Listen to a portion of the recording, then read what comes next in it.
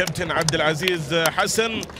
بسم الله الرحمن الرحيم مشاهدينا الكرام متابعي قنوات الكأس الرياضية أينما كنتم أهلا وسهلا ومرحبا بكم جميعا من هنا من استاد نادي الخور الذي يحتضن في هذا المساء المواجهة المؤجلة. من الجولة الخامسة في مباراة في غاية الأهمية في اللقاء الذي يستضيف فيه الخور نادي السد في مباراة لا يبحث فيها الفريقين سوى عن تحقيق الانتصار والثلاث النقاط بالنسبة للمستضيف. هي مباراة من أجل الوصول للنقطة العاشرة من خلال هذا المساء ومن أجل تدارك الموقف لأن الخور في وضع لا يحسد عليه على الإطلاق فهو الفريق الذي يتواجد في المركز قبل الأخير برصيد ثمان نقاط وبالنسبة للضيف الثقيل والثقيل جدا في هذا المساء الزعيم الذي يبحث من خلال هذه المباراة ومن خلال هذه المواجهة عن تقليص الفارق فيما بينه وبين المتصدر تحيل. لذلك يعني هذه المباراة قبل بدايتها مؤشراتها ومعطياتها يعني يبدو بأننا من المفترض بأن نكون على موعد مع مباراة مثيرة مباراة ممتعة فيما بين الفريقين. السد طبعا برصيد 26 نقطة ويسعى في هذه المباراة أن يحقق الفوز وبالتالي يصل للنقطة رقم 29 ويقلص الفارق فيما بينه وفيما بين المتصدر تحيل اللي يتواجد على قمة جدول الترتيب بفارق مريح جدا. وأضف إلى ذلك بأن طبعا عنده أيضا مباراة المؤجلة أمام تحيل اللي راح تلعب يوم الحادي عشر من ديسمبر القادم. إذا أحبتي الكرام مشاهدينا عبر قنوات الكأس الرياضية أينما كنتم. صافرة السيد سعود العذبة تعلن عن بداية وانطلاقة أحداث شوط المباراة الأول. من هذا اللقاء ومن هذه المواجهة في مباراة طبعا يفتقد فيها السد لخدمات عناصر مهمة بالنسبة له لعل على رأس تلك الأسماء تشافي بالإضافة لعلي أسد وبالإضافة لعبد الكريم حسن اللي يتواجد طبعا في حفل توزيع جوائز الاتحاد الآسيوي لكرة القدم وبالنسبة لنادي الخور الذي يحاول مع أول فرصة ومع أول كرة في مباراة ستكون صعبة جدا على الفريقين. في مباراة يدخل فيها السيد بيرناند كازوني المدرب الفرنسي مدرب نادي الخور. هذه المباراة بالتشكيلة التي تضم محمد البكري في حراسة المرمى خالد رضوان مهدي رضا ريبن سولاقة وفي خط الوسط لدينا نايف البريكي حمد منصور عادل أحمد محمد شعبان واجنر أحمد العسكر ودييغو فارياس بينما تشكيلة السد في هذه المباراة يدخل السيد جوزفالدو فيريرا. هذه المباراة بقائمة تضم سعد الدوسري بيدرو أحمد سيار ياسر أبو بكر وحامد إسماعيل طارق سلمان جابي حسن الهيدوس سالم الهجري أكرم عفيف وبغداد بنجاح اذا على مستوى العناصر والأسماء بنظرة أولى بالنسبة للفريقين لا شك بأن الأفضلية للسد من حيث العناصر والأسماء المتواجدة لديه. وأضف إلى ذلك بأننا نتحدث عن أقوى خط هجوم في بطولة الدوري السد. يواجه أضعف خط هجوم وهو نادي الخور الذي يدرك تماما مدى أهمية هذه المباراة. وهذا الرجل الواضح أمامك السيد برنارد كازوني المدرب الذي يعني تحدث قائلا بأنه يحترم إمكانيات المنافس والخصم الكبير في هذه المباراة ولكنه يعني استعد جيدا لهذه المباراة وهيأ اللاعبين جيدا ودائما الخور من الفرق اللي لما تلعب على أرضها في مواجهة الفرق الكبيرة خاصة في ظل هذه المعطيات وفي ظل الظروف الصعبة اللي يعيشها الفريق أعتقد بأنه سيقدم كل ما لديه في هذه المباراة من أجل أن يتمكن من إيقاف الزعيم في هذه المباراة. لذلك هي مباراة وهو موعد مع المتعة ومع الإثارة. حامد إسماعيل ينطلق الكرة بتعود في منتصف ملعب المباراة. جابي يرسل كرة في الجهة اليمين. محاولة حامد إسماعيل لمسة للأمام. الله على نقلة لكن الكرة تبعد. عادت مجددا آه، في الجهة اليمين. جابي في منتصف ملعب المباراة. وصلت عند سالم الهاجري مجددا في منتصف الملعب. طبعا شايف التراجع من جانب لاعبي نادي الخور والاعتماد على الكرات المرتدة. وهذا آه، أمر آه، طبيعي وهي واقعية كبيرة بالنسبة للسيد برنارد كازوني في هذه المباراة. لأن آه، يدرك بأن الإمكانيات على مستوى الناحية الهجومية بالنسبة للفريق الذي يقابله في هذه المباراة هي أفضل منه بك كثير وبالتالي آه، أمر يعني واضح منذ البداية. هنا طبعا واضح أمامك آه، الكبير تشافي الذي يغيب عن هذه المباراة طبعا آه، بداعي الإصابة والسد في مباراة الجولة الثالثة عشر من بطولة الدوري. تمكن من أن يحقق الفوز على النادي العربي بثلاث أهداف مقابل لا شيء في الجولة الماضية. الكرة بتلعب في منتصف الملعب. وصلت عند نايف البريكي اللي بدوره بيعيد الكرة للخلف. نقلة في الجهة اليمين. الكرة ترسل للأمام. محاولة لمسة جميلة وتمريرة ونقلة ومحاولة للفرسان. الكرة عرضية وكرة لكن الكرة تبعد. فرصة خطيرة جدا بتضيع على فرسان الخور مع الدقيقة الخامسة من زمن شوط المباراة الأول. وكرة مرتدة للزعيم ترسل ناحية بغداد بيحاول لكن الكرة أبعدت من أمامه والكرة إلى خارج أرضية الملعب. تحولت إلى رمية تماس لكن محاولة فيها جرأة كبيرة جدا. ومثل هذه الكرات ومثل هذه الفرص في ظل هذه الظروف يا دييغو يجب بأن آه، تستغل الاستغلال المثالي وبأن بأن يتم التعامل معها بالشكل المطلوب وبالتالي فرصة آه، بتضيع على آه، نادي الخور هي الأخطر في شوط المباراة الأول. كرة بتعود مجددا محاولة مستمرة لكن الكرة إلى خارج أرضية الملعب ركلة مرمى. لكن الرغبة واضحة بشكل كبير حقيقة في أول خمس دقائق على بداية أحداث الشوط الأول من المباراة. الخور في هذه الفرصة وفي هذه الكرة التي لولا تدخل آه، لولا تدخل بيد قدروا في التوقيت المناسب لكنا شاهدنا أول أهداف المباراة. دييغو فارياس آه، اللاعب البرازيلي المتواجد آه، في خط المقدمة. لكن مهمة كبيرة جدا اليوم على خط دفاع الخور آه، بتواجد طبعا ريبن سولاقا بالإضافة لخالد رضوان كقلبي دفاع. مسؤولية كبيرة بانتظارهم في كيفية إيقاف هداف بطولة الدوري بغداد بنجاح في هذه المباراة وفي هذا اللقاء. الكرة في الجهة اليمين عند حامد إسماعيل. الموسم الماضي ذهابا السد تمكن من الفوز بثلاث أهداف مقابل هدفين وإيابا الخور تمكن من أن يحقق الفوز بهدف مقابل لا شيء. أي أن آخر مواجهة جمعت فيما بين الفريقين كانت قد انتهت بفوز لنادي الخور. لكن هذه مباراة أخرى ولكل مباراة ظروف مختلفة عن المباراة السابقة. كرة بتلعب لحامد إسماعيل. خذوهات محاولة وكرة عرضية لكن الكرة وصلت سهلة عند حارس المرمى الحارس محمد البكري المتواجد في التوقيت المثالي والتوقيت السليم. الخور 12 مباراة انتصر في مباراتين وتعادل في مباراتين.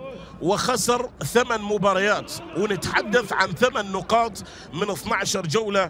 أكيد بأنه مؤشر خطير جدا بالنسبة للخور ولعل السيد بناد كازوني يقول لا أريد أن أتحدث عن مسألة الهبوط أو المباراة الفاصلة. كل ما يجب بأن يفعل اللاعبين في هذه المباراة على حد قوله هو كيفية تحقيق الفوز في هذه المباراة وكيفية الخروج بنتيجة إيجابية. ويقول تركيز تركيزنا على هذه المباراة وتركيزنا على هذا اللقاء في كيفية الخروج بنتيجة إيجابية. كرة بتعود لجابي في منتصف الملعب. كرة تحولت إلى خارج أرضية الملعب ركلة مرمى. طبعا كما ذكرت هي مباراة آه، مؤجلة من الجولة الخامسة آه، في الفترة اللي كان يتواجد فيها طبعا آه، السد على مستوى منافسات بطولة دوري أبطال آسيا وهذا هو حكم المباراة السيد سعود العذبة الذي يقود المباراة الثانية بالمناسبة للسد من خلال هذا الموسم. قد مباراة واحدة للسد اللي كانت أمام الإخراطيات. المباراة اللي انتهت بستة أهداف مقابل لا شيء. بينما هذه المباراة هي المباراة الثالثة التي يقودها كحكما بالنسبة للخور. وفي المرتين الخور لما يكون الحكم هو سعود العذبة يخسر الخور. لكن ماذا عن هذه المباراة وماذا عن هذا اللقاء؟ الكرة في الجهة اليمين. حامد إسماعيل يتقدم وينطلق. حامد يقود هجوم للزعيم.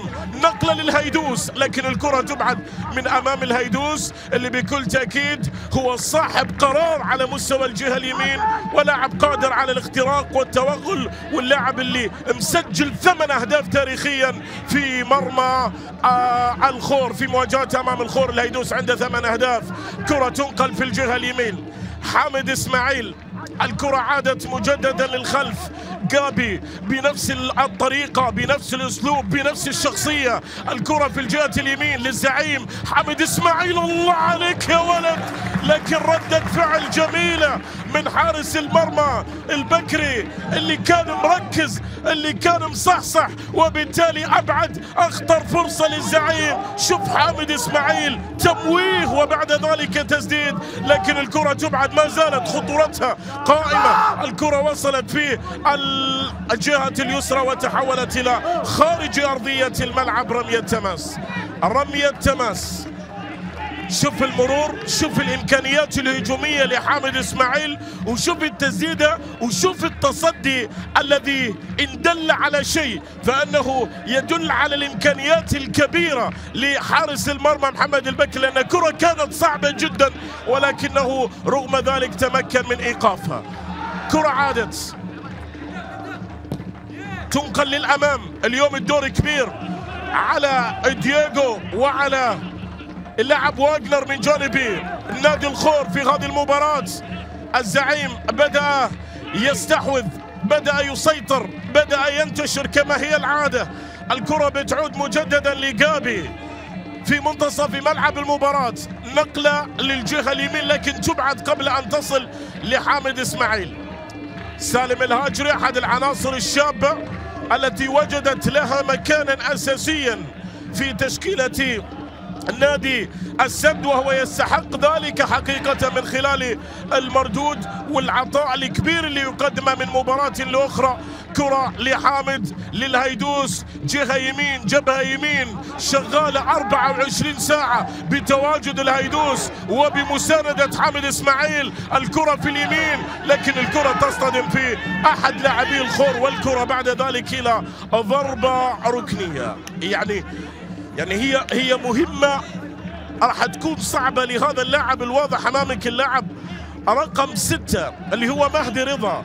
في كيفية الحد من انطلاقات وتحركات الهيدوس وحامد إسماعيل على مستوى الجهة اليمين. وبالتالي مسألة إيقافهم لا تبدو سهلة على الإطلاق. حكم المباراة سيد سعود العذبة في حديث مع لاعبي الفريقين.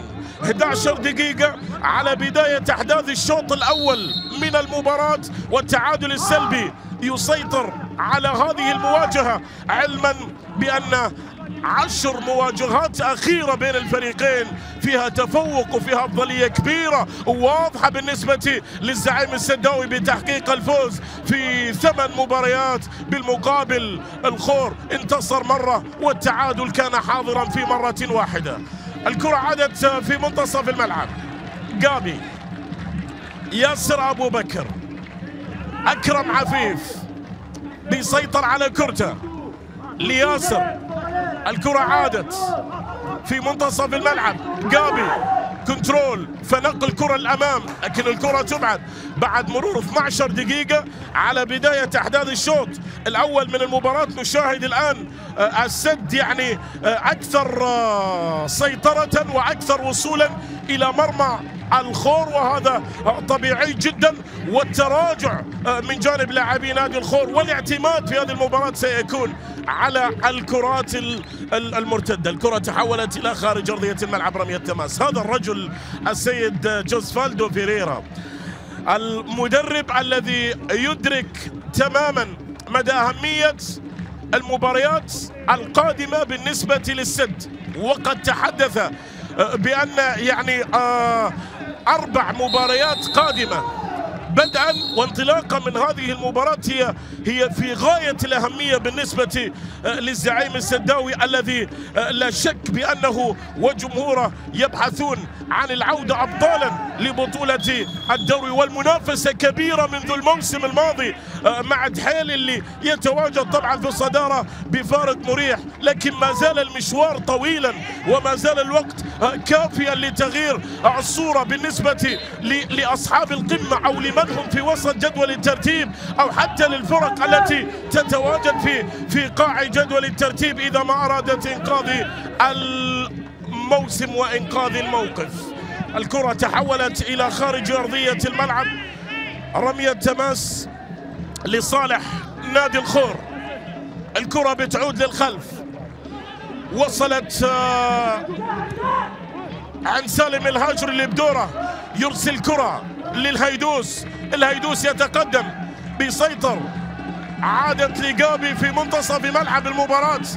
الزعيم يبحث عن البداية. الزعيم يبحث عن الوصول أولا. في ظل هذا التمركز وفي ظل هذا التراجع لم تصل أي كرة ولم نشاهد حتى الآن بنجاح في أي كرة. آه بعد مرور 14 دقيقة ووصولا إلى الربع ساعة الأولى في أحداث هذا الشوط الأول من المباراة لكن لدينا كرة. هذه انطلاقة وتقدم ولمسة بنجاح بيمرر. لكن الكرة تبعد. شوف في اللحظة اللي اللي تكون فيها الكرة. يعني أو أو قبل ما توصل الكرة لبغداد بنجاح. نشوف ثلاث لاعبين. يعني شوف هذه اللقطة. هذه اللقطة وهذه التمريرة اللي كان اللي كان فيها في موقف تسلل. لكن شوف الضغط من جانب لاعبين على على بنجاح. ومهمة إيقاف لاعب ونجم هداف بقيمة بغداد. هي أمر في غاية الصعوبة حقيقة لكل المنافسين لكل المدافعين. لكن لدينا كرة للفرسان داخل المنطقة والكرة العرضية كانت بعيدة. ما زالت المحاولة مستمرة تبعد من حامد إسماعيل. نقلة في اليمين الهيدوس تقدم استلم بالقدم اليسرى وانطلق وحيدا يبحث عن مساندة يرسل كرة. الله! الله! تحرك من الهيدوس فنظرة فنقلة إلى الذي لا يعرف أبدا أن يخطئ الطريق. فتحية من تشافي الله على الزعيم والله على تحرك الهيدوس. كيف شاف بغداد في هذه الكرة؟ هذه نقلة كبار وهو لاعب كبير الهيدوس. الله يا بغداد يا بنجاح. الهدف رقم 22 في بطولة الدوري في هذا الموسم. يصل إليه بنجاح لا يحتاج لمجهود كبير حتى يسجل. فقط كل ما يجب على اللاعبين صناع القرار في وسط الملعب كيفية إيصال الكرة إليه وهو يتكفل بالباقي. الزعيم يتقدم أولا بهدف المباراة الأول في الدقيقة السادسة عشر من زمن أحداث شوط المباراة الأول. واحد صفر. واحد صفر. لكن هدف ملعوب هدف في مجهود كبير جدا. الهيدوس مجددا أكرم لكن الكرة إلى خارج أرضية الملعب تحولت إلى ركلة مرمى لصالح نادي الخور كرة تحولت إلى خارج أرضية الملعب ركلة مرمى. لكن شوف الإعادة شوف التمريرة شوف النقلة شوف الفن شوف المتعة. شوف الفكر الكبير شوف نقلة الهيدوس وكأنه حافظ وحافظ تحركاته وعارف وين وين يحط له الكرة في المكان الصحيح. عارف كيف يعطيك كرة على طبق من ذهب. وفي في نوعية من المهاجمين لا يمكن بأن يرفضون مثل هذه الهدايا. وبغداد طبعا واحد منهم. بل هو في هذا الموسم يعني تحدث عن عن عن الوصول في هذه المباراة للهدف رقم 22 دقيقة السابع عشر من زمن أحداث الشوط الأول من المباراة أحبتي الكرام. الخور طبعا يلعب في هذا المساء مباراة الخامسة. هذه المباراة الخامسة له على أرضية ملعبه. فاز مرة فاز على الرياض 1-0 وخسر ثلاثة. هذه انطلاقة وكرة ولمسة للأمام. لكن المحاولة قائمة. أكرم استلم. يرسل كرة عرضية. الكرة ما زالت والمحاولة مستمرة. لكن الكرة تبعد بتعود مرة أخرى. ما زالت اللمسة والتمريرة تبعد من أمام بنجاح. تعود مرة أخرى. الكرة وصلت في الجهة اليمين لبيدرو.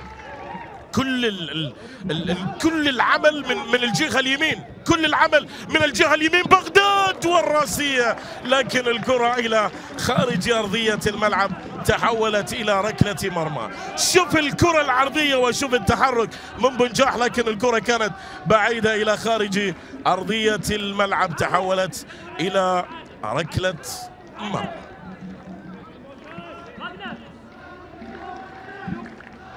تحولت إلى ركلة مرمى.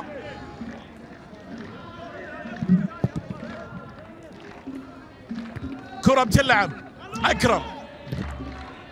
لم نشاهد بعد مرور 19 دقيقة في الشوط الأول من هذه المباراة سوى يعني فرصة أو فرصتين خلينا نقول بالنسبة لنادي الخور. باستثناء ذلك عادت السيطرة وعاد الاستحواذ وعاد الفريق الذي يمتلك شخصية الفريق البطل والفريق الكبير. وبالتالي نرى الآن الاستحواذ أصبح لصالح نادي السد ويبحث عن هدف ثاني أكرم عفيف في الجهة اليمين. بيسيطر على كرة أكرم. الله على الونتاتش. كرة! يا الله!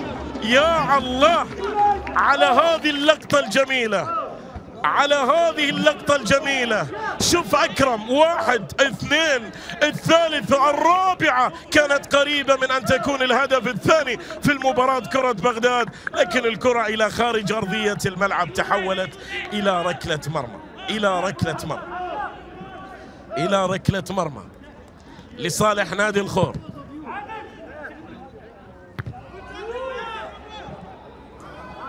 عشر مواجهات أخيرة بين الفريقين هنا في الخور. فيها انتصار وحيد للخور وفيها ست انتصارات بالنسبة للسد وفيها ثلاث حالات تعادل لكن آخر فوز للخور على السد هنا على هذا الملعب كان منذ فترة طويلة جدا. تحدث عن موسم 2009 2010 في الأسبوع الثالث. ثلاثة واحد في مباراة سجل فيها الخور بخيت المري وروبيرو وسجل الهيدوس في تلك المباراة للزعيم.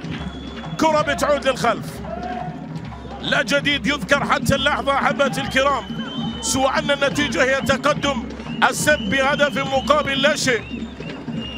مع رحلة بحث ستكون طويلة وصعبة بالنسبة للخور من أجل الأمر يتطلب مجهودا كبيرا ومضاعفا.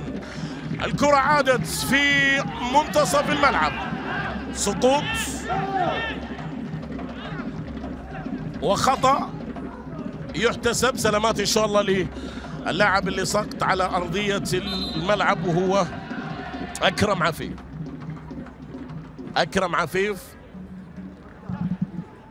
هو اللي سقط من خلال هذه الكرة ومن خلال هذه المحاولة. طبعا أكرم من اللاعبين اللي اللي, اللي هو هو ثاني هدافي آه، الزعيم السداوي في هذا الموسم عنده 11 هدف عنده 11 هدف. لكن هذا فيريرا. واجه واجه آه، فيريرا كمدرب. واجه الخور في تسع مباريات. على مستوى مختلف البطولات منذ توليه مهمة تدريب الزعيم. وهذه المواجهة العاشرة. فاز في ثمانية وخسر مرة واحدة. خسر مرة واحدة لكن هذه اللقطة يعني أنا شخصيا آه، وهي هي من اللقطات يعني اللي, اللي لا يتمنى المحب والمتابع واللي يستمتع بكرة القدم أن يشاهدها. المهاجم أو اللاعب بي بي بي بشكل عام ممكن يكون في في حالة نرفزة ممكن يكون آه، لكن لا يجب عليه أن أن يتصرف بهذه الطريقة. يا دييغو المطلوب منك في هذه المباراة انك انك إنك تسجل إنك آه، يعني باتجاه مرمى الزعيم. ان تمكنت من ذلك ان تمكنت من ذلك يجب عليك بأن تنتفض في هذه المباراة في هذا اللقاء. الكرة في منتصف الملعب للخور عادت لنايف البريكي. بيحاول لكن الكرة إلى خارج أرضية الملعب تحولت إلى رمية تماس. الكرة تحولت إلى خارج أرضية الملعب رمية تماس. هذا هو السيد بيرنارد كازوني. في الموسم الماضي طبعا كان مع نادي مولودية الجزائر. هنالك في الجزائر هو المدرب الفرنسي صاحب ال 57 سنة بتاريخ كبير كلاعب ولكنه كمدرب ليس بمثل الوضعية التي كان عليها حينما كان لاعب. كرة في منتصف الملعب. بتعود للخلف لطارق سلمان. اللي بدوره بيعيدها. مجددا. ناحية بيدرو. بيدرو يرسل كرة في اليمين عند حامد إسماعيل.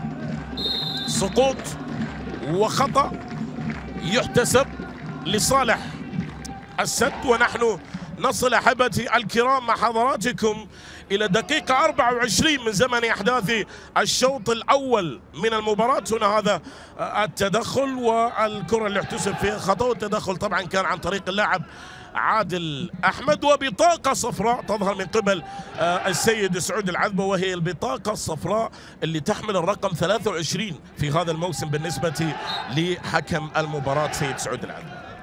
كرة في منتصف الملعب. تعود للخلف. طارق سلمان. طارق سلمان بيحاول لكنه يسقط. الكرة عادت. دييغو نايف البريكي في منتصف الملعب. نقلة في الجهة اليمين محاولة وسقوط وخطأ.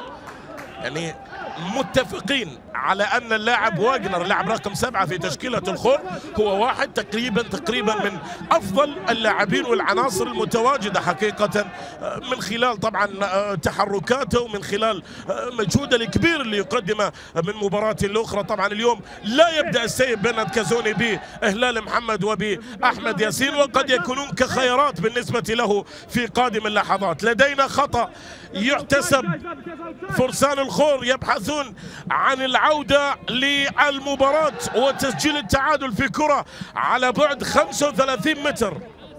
واجنر وسعد الدوسري في مرماه واجنر على تنفيذ الخطأ من هذا المكان. الكرة بتلعب للأمام لكن الكرة تبعد. تعود مرة أخرى. لمسة ونقلة في الجهة اليمين. محاولة الله على المرور والتقدم ومطالبة ركلة جزاء. ركلة جزاء للخور في هذه اللحظات. يؤكد يؤكد واجنر بأنه الأفضل بهذا التحرك. لكن بغداد بنجاح ما كان في مكانه. ما كان في مكانه ولم يكن في منطقته. هو هو هو منطقة البوكس للبوكس داخل داخل المنطقة في هذا المكان. لكن لكن من الطرف الآخر يا بغداد حاول أن يقوم بدور المدافعين. هذه هي اللقطة لكن فيها ركلة جزاء ولا ما فيها ركلة جزاء حكم المباراة. السيد سعود العذبة يرى بأنها ركلة جزاء في ظل اعتراضي واحتجاجي. بغداد بنجاح على احتساب ركلة جزاء في هذه اللحظات. في الدقيقة 26 التي تتيح للخور فرصة العودة للمباراة. فرصة العودة للمباراة. سعد الدوسري ودييغو. دييغو اللاعب الواضح أمامك. هل يعيدهم للمباراة؟ الفرسان هل نعود إلى نقطة البداية؟ مع الدقيقة 27 دييغو وسعد. دييغو يتقدم. دييغو في فرصة لن تتكرر كثيرا يا دييغو. دياغو بعد كل هذا التأخير وبعد كل هذه الخطوات دياغو يفشل. لكن لكن بغداد بنجاح هو اللي أعطى التعليمات لسعد. هو اللي أعطى التعليمات لسعد. يعني هو اللي قال له يروح في هذه الزاوية وفي هذا المكان. وبالتالي سعد استمع لحديث بغداد وتمكن من أن ينقذ مرمى السد في فرصة كانت مؤاتية بالنسبة للخور من أجل العودة للمباراة. لكن لكن دييغو أضاعها دييغو أضاعها ركلة جزاء. هي الطريقة الأسهل من أجل أن تسجل. يعني ما في طريقة أسهل من ركلة الجزاء. أنك تسجل فيها في كرة القدم. ولن تأتيك كثيرا. تأخر وأخذ خطوات كثيرة جدا ووقت. لكن في النهاية أضاع الركلة لكن دقيقة 28 هذا وديع. قدم حط كرة لكن سعد الدوسري راح للمكان الصحيح للمكان المناسب. وبالتالي تمكن من أن يوقف الكرة الأخيرة. هنا السيد جوسفالدو بيريرا. كرة بتلعب للأمام. كرة وصلت سهلة عند حارس المرمى. وصلت لواجنر في منتصف الملعب اللي بدوره ينقلها سريعة. واجنر يتقدم لدييغو حلوة الكرة حلوة الكرة لكن ياسر أبو بكر الذي تراجع بشكل سريع والذي كان متواجدا في المكان المناسب يتمكن من أن يبعدها والكرة بعد ذلك إلى خارج أرضية الملعب رمية تماس. تنفذ كرة بتلعب. وصلت للأمام هيدوس تقدم وانطلق.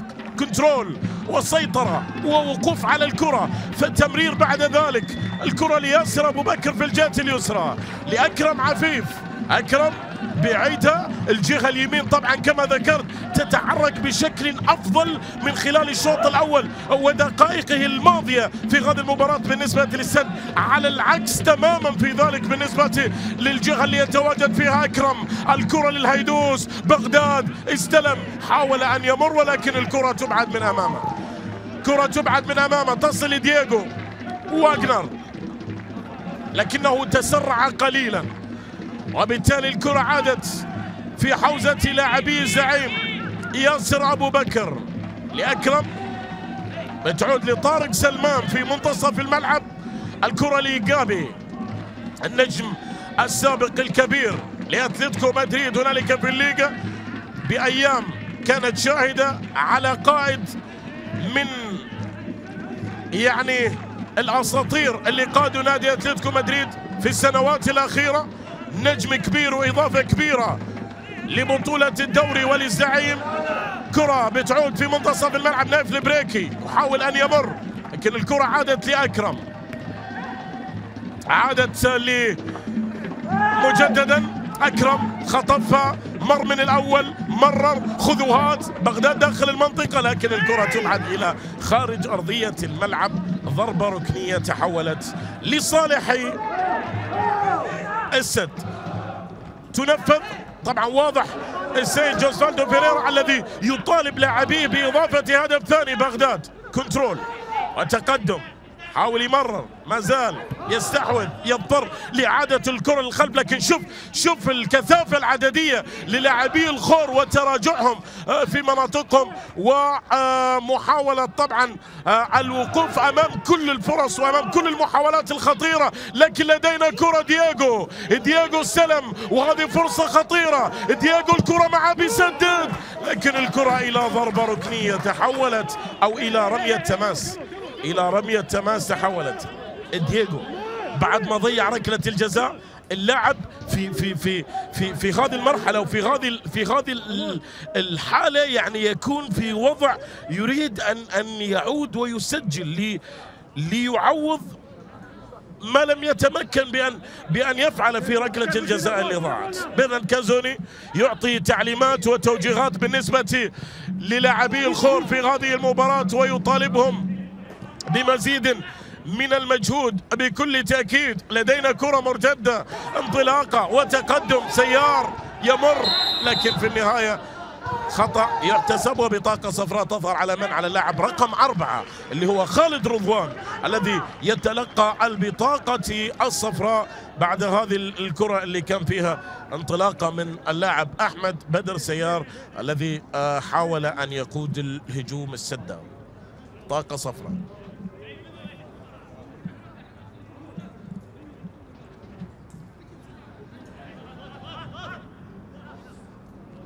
خطأ يحتسب في هذه اللحظات. نصل أحبتي الكرام مشاهدينا عبر قنوات الكأس الرياضية أينما كنتم إلى دقيقة 32 من عمر أحداث الشوط الأول والنتيجة تشير إلى تقدم الزعيم السداوي بهدف مقابل لا شيء للخور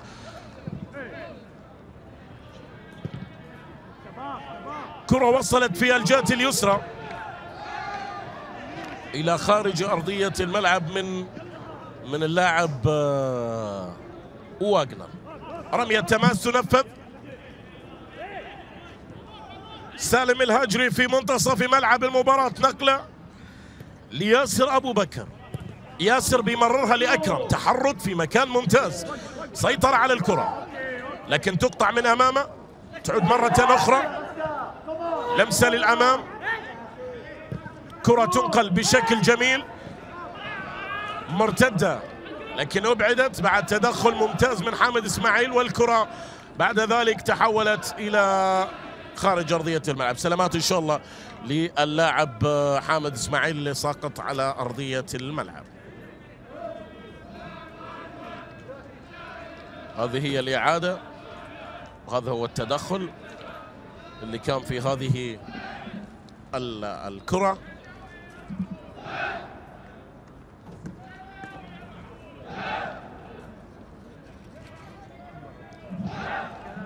الخور طبعا في الجولة السابقة لبطولة الدوري كان قد خسر بهدف مقابل لا شيء من المتصدر دحيل لكنه قدم عرضا كبيرا في تلك المباراة. لم يتمكن من أن يحقق نتيجة إيجابية أمام المتصدر فماذا عن الوصيف؟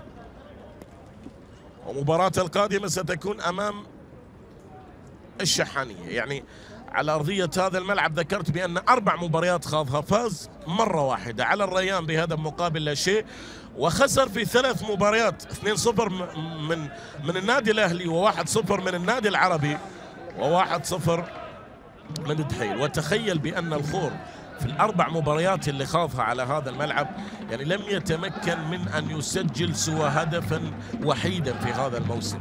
وذلك الهدف اللي سجله واجنر اللاعب الموجود في هذه المباراة.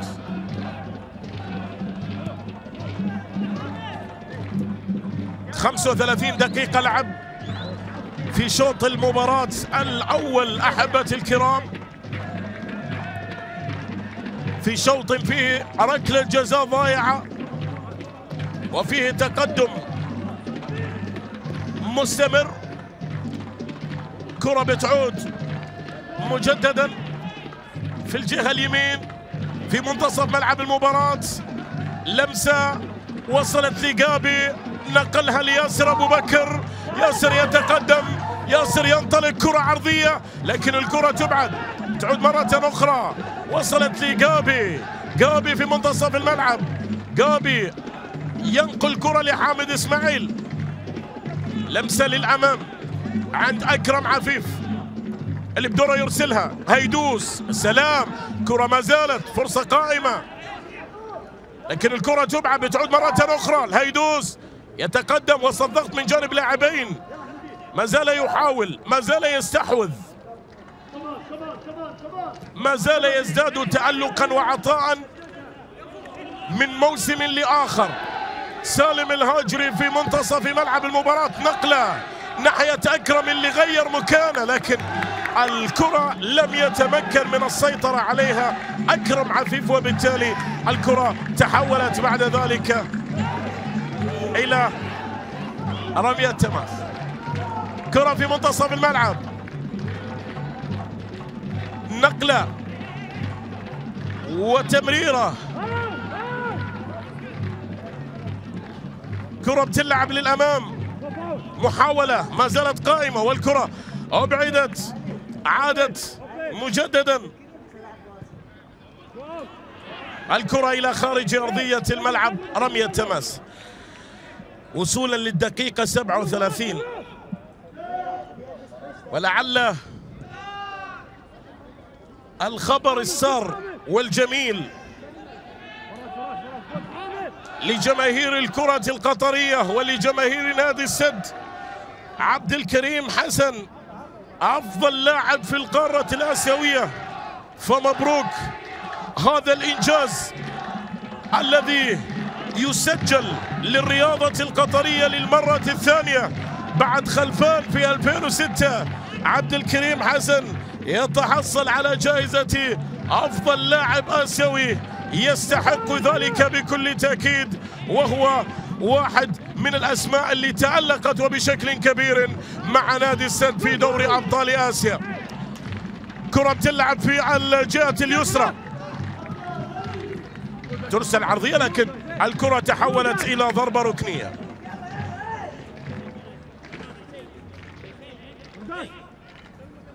كرة تحولت إلى ضربة ركنية لصالح نادي الخور مع الدقيقة 38 من زمن أحداث شوط المباراة الأول في هذا اللقاء.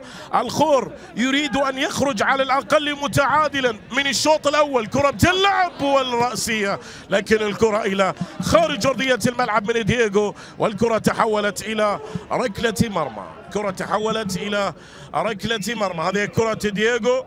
أي نعم يتحرك بشكل ممتاز لكن برنارد كازوني يطالب بأن يكون أكثر تركيزا أمام المرمى ويطالب بأن يتمكن من أن يستغل الفرص اللي تتاح له أمام المرمى. كرة بتعود في منتصف ملعب المباراة. انطلاقة للفرسان في الجهة اليسرى. لمسة. وكرة. لكن الكرة وصلت سهلة لسعد الدوسري. شايف آه، واجنر بدا يزيد مع دييغو في خط المقدمة من أجل إعطاء إضافة آه، بشكل أكبر على مستوى الناحية الهجومية. أكرم عفيف في منتصف الملعب. كرة بتعود للخلف. الكرة وصلت لجابي اللي بدوره يعيدها. كرة للأمام. أكرم تقدم. أكرم انطلق. أكرم مرر لبغداد. خذوا هات. لكن الكرة تبعد. بتعود مرة أخرى لصالح نادي الخور. نقترب أحبتي الكرام.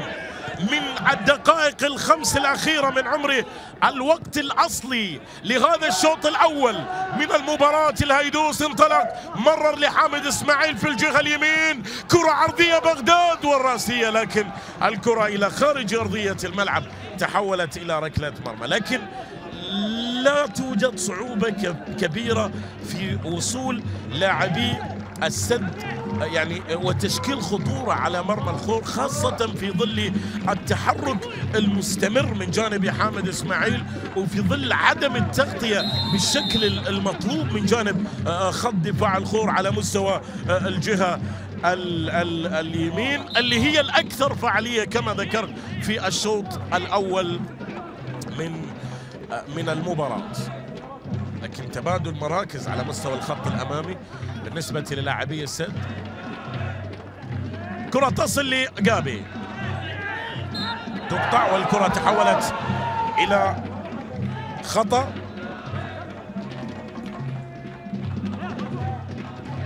ينفذ. كرة تصل لياسر أبو بكر. البدورة بيعيدها لطارق سلمان. الكرة وصلت آه، لطارق في منتصف الملعب بعيدها للخلف عند سالم الهاجري. بيدرو في اليمين إلى اليمين إلى حامد إسماعيل. كرة للأمام. انطلاقة من الهيدوس لمسة ولكن الكرة لم تصل لم تصل لأكرم أو كانت أسرع نوعا ما لكن الهيدوس بيقدم شوط. جميل وأداء كبير. كعادته كعادته كرة إلى خارج أرضية الملعب. على بعد أربع دقائق من نهاية أحداث الشوط الأول أحبتي الكرام. والأمور تشير على مستوى النتيجة والأداء إلى أفضلية سداوية حامد إسماعيل. كرة بتعود للخلف. عن طارق سلمان. اللي بدوره يرسلها لياسر أبو بكر في الجهة اليسرى. عادت مجددا. نقلة وتمريرة. قابي سالم الهاجري. كرة في الجهة اليمين. حامد يحاول لكن الكرة إلى خارج أرضية الملعب. تحولت إلى إلى رمية تماس إلى رمية تماس. وإلى خطأ أيضا أو إلى خطأ يحتسب على ما يبدو لي نعم.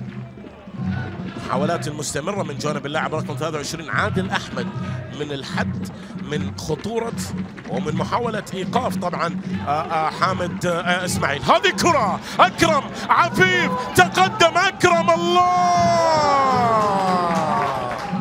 لكن ضاعت يا أكرم ضاعت مع الدقيقة 43 في فرصة مؤاتية للتسجيل وفي كرة سهلة. وردة فعل من جوزفالدو بيريرا شوف اللمسة وشوف التمريرة وشوف النقلة وشوف أكرم وتقدمه. حاول أن يضعها بهذه الطريقة ولكنه لم ينجح في ذلك. والكرة إلى خارج أرضية الملعب. تحولت إلى ركلة مرمى. كرة بتلعب للخور. محاولة وتحرك من اللاعب رقم 21 حمد منصور. لكن الكرة بعد ذلك تحولت إلى ركلة مرمى لصالح نادي أسد. سجل كثيرا أكرم من مثل هذا المكان وبمثل هذه الطريقة اللي حاول أن يسجل من خلالها لكنه لم يوفق. كرة إلى ركلة مرمى. كرة بتلعب للأمام. وصلت.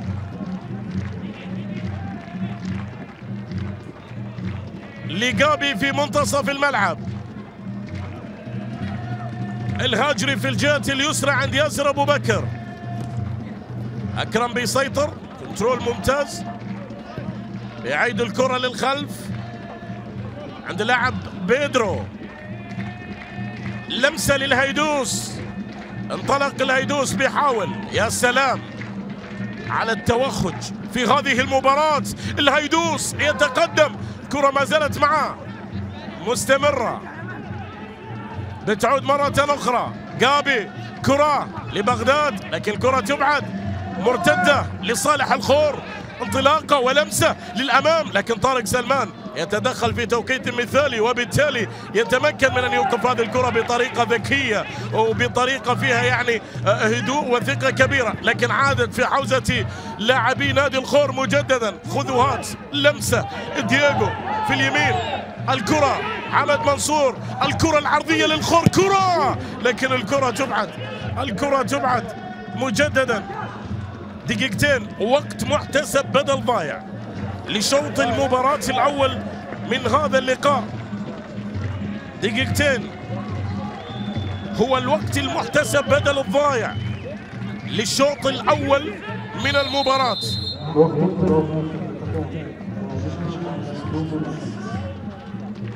خطأ يحتسب. هنا الإعادة. لدينا كرة الآن تصل لبغداد. بغداد. يسيطر على كرته.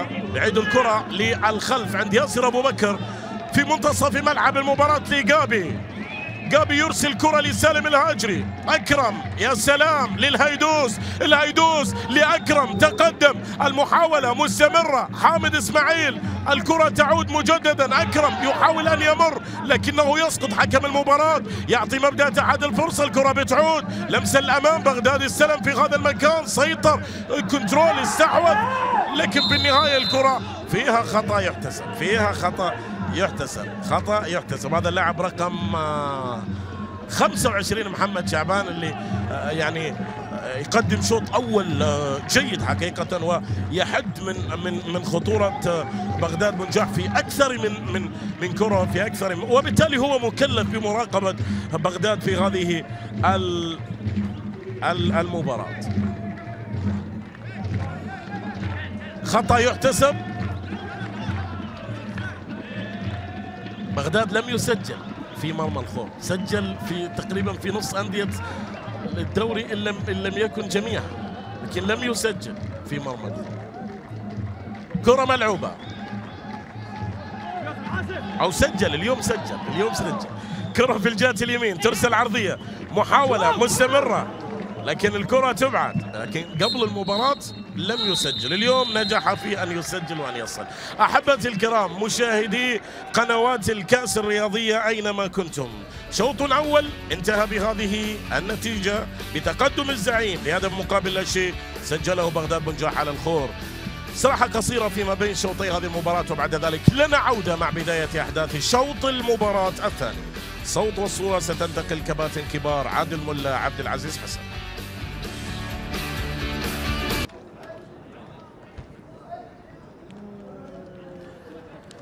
شكرا للكباتن ولنجمي الكرة القطرية الكبار كابتن عادل ملا والكابتن عبد العزيز حسن.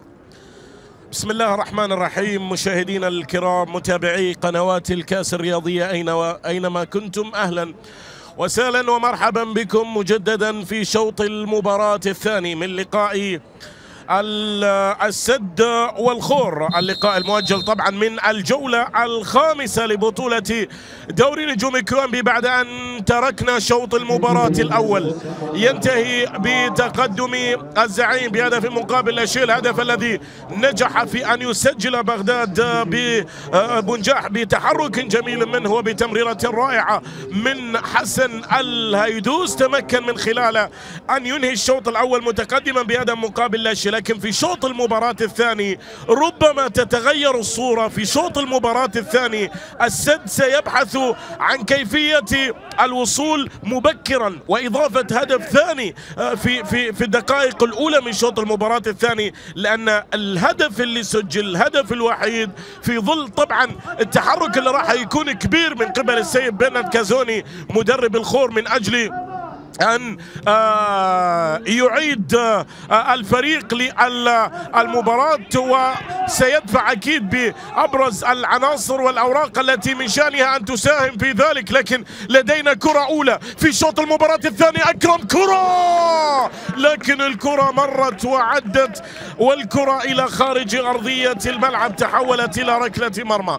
شوف النقلة الجميلة من بغداد وشوف التحرك الرائع من أكرم والتسديدة التي تحولت إلى خارج أرضية الملعب ركلة مرمى. طبعا نذكر بأن في الشوط الثاني لدينا تبديل أجراء السيد جوزفالدو فيريرا بدخول آه أبو علام وبخروج اللاعب بخروج اللاعب أحمد بدر سيار الذي آه، ترك أرضية الملعب مع بداية هذا الشوط الثاني من المباراة. كرة تصل للهيدوس في الجهة اليسرى واحد من أكثر اللاعبين تحركا ونشاطا وحيوية بل أنه كان واحد من أفضل لاعبي شوط المباراة الأول في هذا اللقاء ويريد أن يواصل ذلك من خلال الشوط الثاني من المباراة. لكن لدينا كرة الآن لصالح نادي الخور في الجهة اليسرى تبعد حامد إسماعيل. تقدم حامد انطلق مرر لأكرم استلام ومحاولة لكن الكرة تبعد والكرة تعود للخلف عند عند حارس المرمى اللي بدوره يبعدها بطريقة خاطئة جدا. وبالتالي الكرة إلى خارج أرضية الملعب. رمية تماس تحولت لصالح نادي السد كرة بتلعب.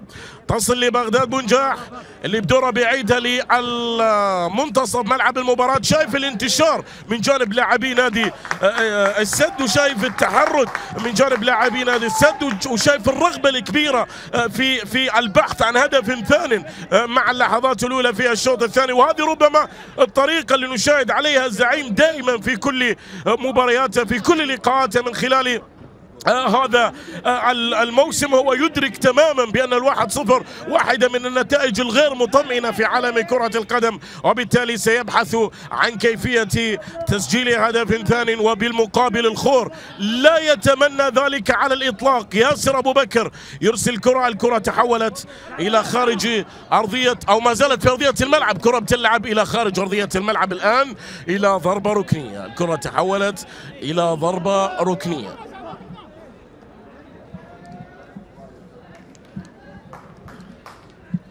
السد طبعا في حالة فوزه في هذه المباراة. سيقلص الفارق فيما بينه وبين تحيل إلى خمس نقاط من خلال هذا اللقاء.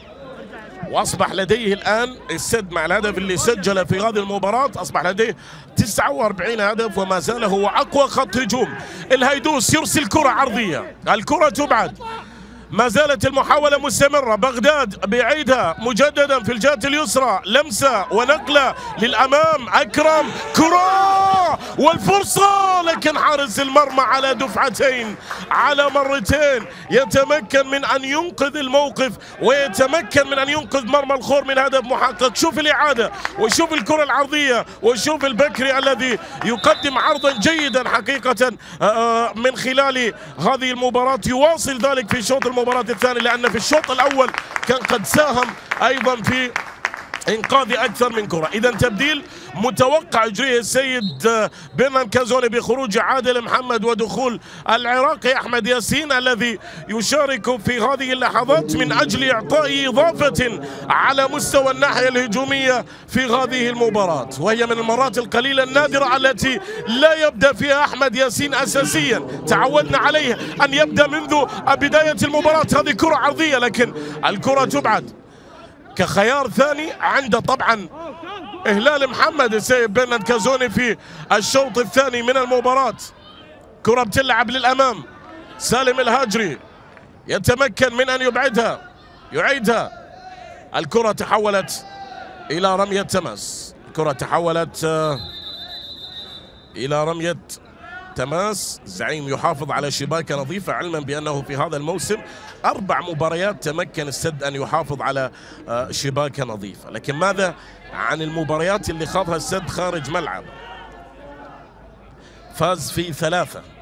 على قطر 5-1 على أم صلال 5-1 على العربي 3-0 وخسر مباراة واحدة فقط. كانت من النادي الأهلي. بأربعة أهداف مقابل هدف. كرة بتعود للخلف. تصل لابو علام لبيدرو.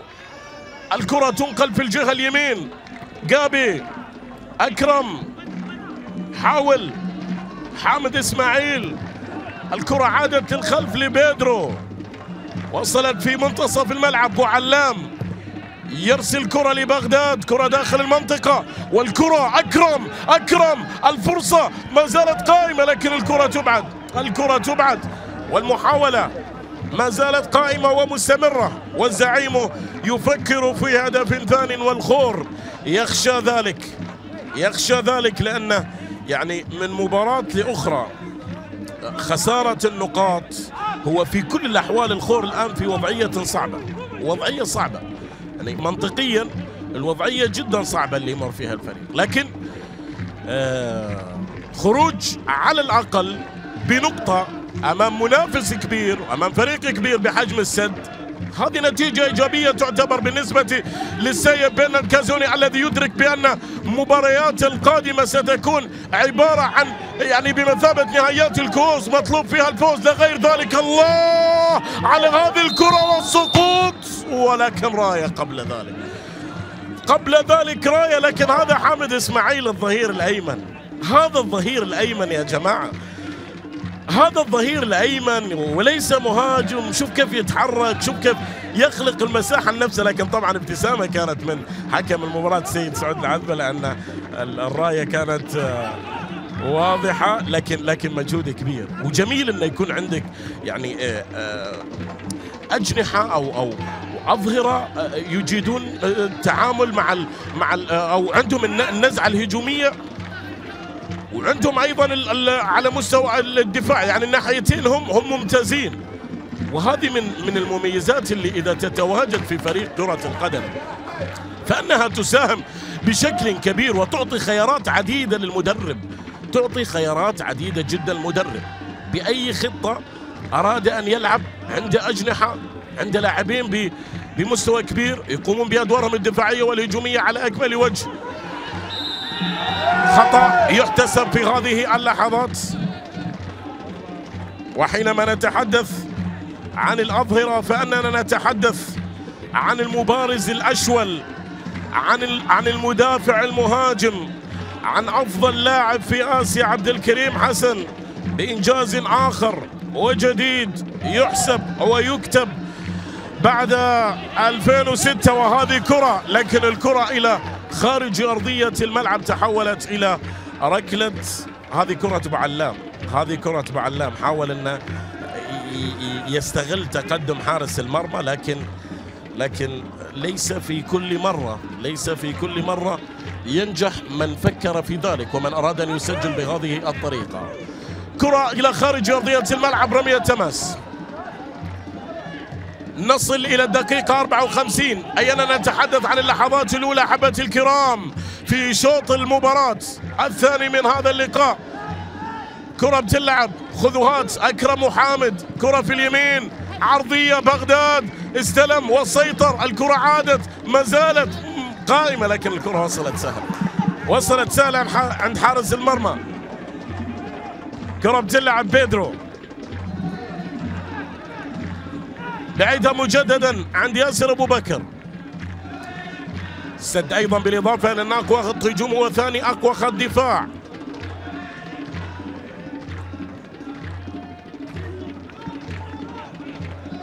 رمية تماس تنفذ كرة تصل لحامد إسماعيل. أكرم يتقدم بمرة. بغداد حاول لكن تبعد من أمامه. كرة تنقل للأمام. دييغو أحمد ياسين انطلاقة للخور محاولة تمريرة. دييغو لأحمد بيحاول لكن تدخل من جانب مدافعي السد والكرة. تبعد. تعود مرة أخرى. أبو علام. نقلة للهيدوس. في الجهة اليسرى. تمرير كرة الأمام. بغداد استلم. وانطلق وتقدم وكرة الثاني. يا الله على لقطة وعلى تدخل من من من المدافع. المدافع يحسب له هذا التدخل في هذه الكرة. لكن شوف التحرك. شوف كيف يمر من المدافعين. شوف كيف يعاني أمام كل المدافعين. بنجاح للمهاجم اللي غير عادي على الإطلاق. لكن برافو اللاعب رقم أربعة خالد رضوان الذي تمكن من أن ينقذ مرمى فريقه من هدف ثاني محقق. ركنية ترسل بعيدة. كرة وصلت عند أكرم عفيف. الزعيم في حالة هجوم في حالة بحث عن هدف ثاني الكرة لإيجابي بتعود الكرة مجددا عند سالم الهاجري اللي بدوره ينقلها للأمام. لكن الكرة عادت لطارق سلمان. نقلة في الجهة اليمين. تبعد أحمد ياسين في هذا المكان في هذه المنطقة في هذه الجهة من أجل أن يعطي إضافة واجنر. غير واضح. واجنر اليوم الحاضر الغائب أستطيع أن أقول عنه في غد المباراة أحمد ياسين بيحاول عادة واجنر لمسة للأمام. الكرة قائمة لكن الكرة تقطع. مرتدة عادت والكرة في النهاية وصلت عند الدفاع. وصلت عند المدافع خالد رضوان.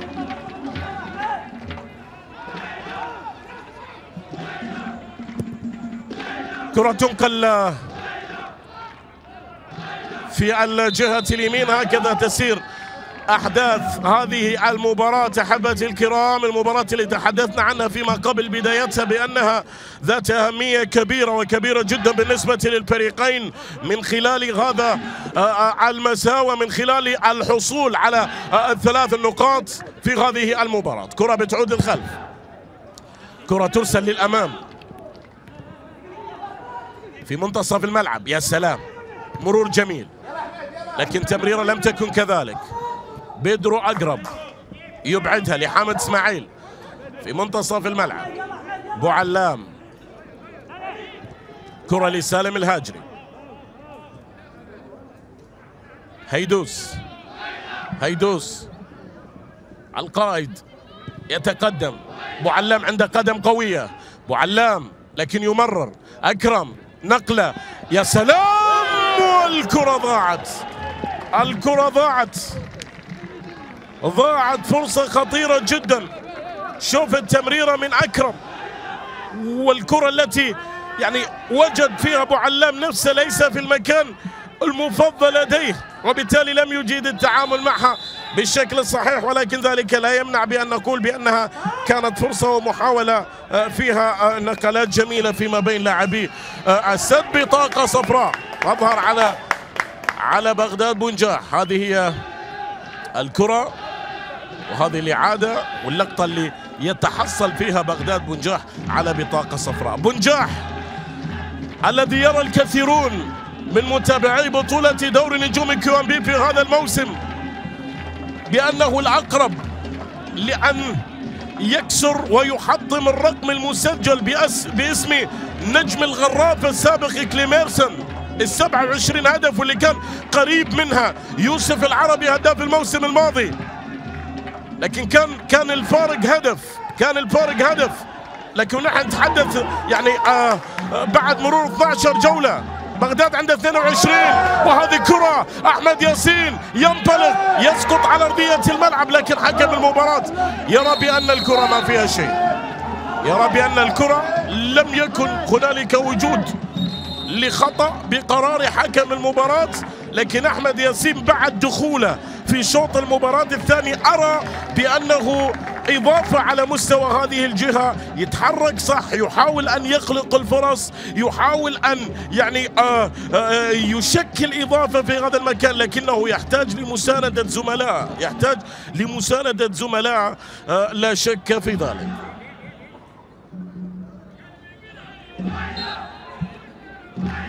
بيرنان كازوني صاحب الثلاثين مباراة دولية مع المنتخب الفرنسي كلاعب.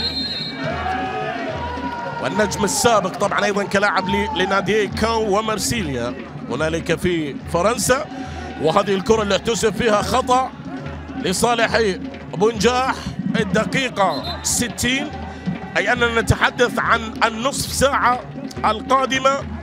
اللي بتمثل أهمية كبيرة جدا وستحدد ملامح مستقبل هذه المباراة. سعيد إبراهيم هو اللاعب الذي يشارك في هذه اللحظات في تبديل يجري السيب بيرنا كازوني ولدينا خطأ يحتسب كرة بتلعب للأمام والكرة ضاعت. الكرة ضاعت والكرة طالت والكرة تحولت إلى ركلة مرمى لصالح نادي الخور. هذه هي الإعادة وهذه الكرة. التدخل من بيدرو. كرة تحولت إلى ركلة مرمى. كرة تحولت إلى ركلة مرمى. وفي تبديل. هلال محمد اللي كانت بداياته مع السد. يشارك الآن ليواجه السد. واحد من العناصر المميزة في وسط ملعب المباراة أكيد. أحمد العسكر هو من يترك أرضية الملعب في هذه اللحظات وهلال محمد هو اللاعب الذي يشارك في تشكيلة نادي في تشكيلة نادي الخور. في الدقيقة 61 رمية تماس. تنفذ كرة للأمام داخل منطقة. فرصة للخور عرضية لكن لم تكن مثالية وبالتالي الكرة تبعد بتعود مرة أخرى ياسر أبو بكر. ينقل كرة ناحية بغداد لكن ممتاز ممتاز المدافع خالد رضوان في هذه المباراة. ينقل كرته للأمام أقصى الجهة اليمين محاولة لصالح الخور في هذه اللحظات هلال في أول كرة. تمريرة جميلة لكن الكرة سهلة عند حارس المرمى سعد الدوسري اللي خرج وكان توقيته ممتاز ومثالي. شوف تمريرة هلال وشوف تحرك دييغو الذي ربما في شوط المباراة الأول كان يعاني من من من دييغو يعاني من الكرات اللي لم تصل إليه لم لم يكن هنالك لاعب يصنع بشكل صحيح أو لاعب يوصل الكرات لدييغو. لكن مع دخول هلال محمد في هذه اللحظات أرى بأن أصبحت فرصة يعني صنع صنع خطورة وصنع فرص وإيصال الكرات لدييغو. الواضح أمامك بشكل أكبر. هذا هو جوزفالدو فيريرا مسيرة كبيرة وكبيرة جدا. تنقل بين عديد الأندية في مختلف القارات وتبقى الفترة التي كان يتواجد فيها مع الكبير في البرتغال هنالك بورتو هي الفترة المميزة والفترة الجميلة بالنسبة له. بينما طبعا كان واضح أمامك النجم الكبير تشافي الذي يتابع والذي يراقب والذي يعاين كما هو الحال بالنسبة لجماهير الفريقين.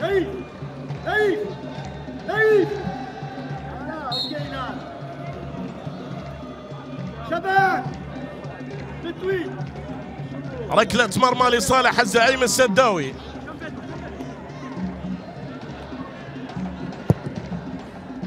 كرة تلعب للأمام.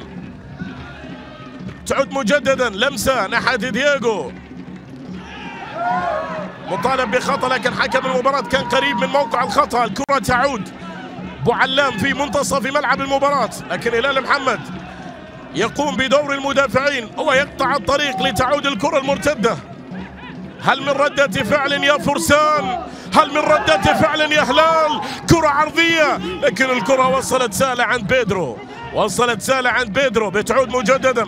ما زالت الثلاث النقاط في أرضية الملعب. الأمور لم تحسم بعد في هذه المباراة لم تحسم بعد في هذا اللقاء.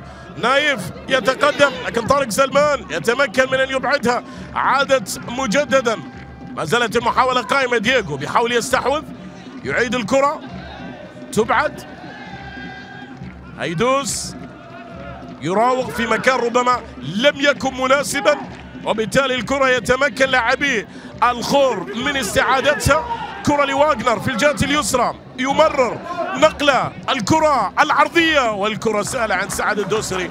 حارس صاحب الإمكانيات الكبيرة والخبرة والتجربة الطويلة. وبالتالي الكرة لم تشكل أي صعوبة أي خطورة أي خطورة. دييغو الذي أكيد بأنه نادما على إيضاع ركلته على على إهدار ركلة الجزاء في شوط المباراة الأول. كرة عند حامد إسماعيل. جابي أبو علام. كرة تصل لياسر أبو بكر. لكن هنالك فرق. وهنا أتحدث عن عن الفرق ذات الشخصية القوية والفرق الكبيرة. يعني من الصعب جدا أن تتأثر بغياب اسم أو اسمين حتى وان وإن كانوا من من من, من العناصر المهمة في تشكيلة الفريق. والسد لا يتأثر بذلك. السد لا يتأثر ب ب ب ب بأي غيابات في أي مباراة. لا يتأثر. عند الخيارات عند دكة بدلاء لا تقل أهمية عن الأسماء والعناصر المتواجدة في التشكيلة الأساسية. وبالتالي تجد بأن لا توجد لديه مشاكل كبيرة في كيفية الفوز والحصول على الثلاث النقاط وفي السد لما تواجه الزعيم تعاني في في في مسألة إيقاف. يعني توقف مين؟ توقف الهيدوس على اليسار في أكرم على اليمين. في خط المقدمة في بغداد هو الأصعب إيقافاً. وإذا أردت أن تجاريهم في وسط ملعب المباراة فأن يتواجد لديهم الأساتذة الكبار جابي وتشافي. إن غاب إن غاب تشافي حضر جابي لأن دائما الصراع في وسط الملعب الاستحواذ على الكرة في وسط الملعب. إن سيطرت على وسط الملعب فأنت ستتحكم في المباراة كيفما تريد. سقوط على أرضية الملعب. بغداد منجاح والكرة فيها خطأ. ذكرت عن ذكرت طبعا عن الرقم المسجل باسم كليميرسون لكن أول رقم قياسي في عدد الأهداف المسجلة في بطولة الدوري في موسم واحد كان باسم الكبير. والكبير جدا منصور مفتاح في موسم 81 82 لما سجل 22 هدف في 12 مباراة وظل محتفظا بذلك الرقم لسنوات طويلة. وأبو علام على تنفيذ الخطأ من هذا المكان في الدقيقة 68 من عمر المباراة.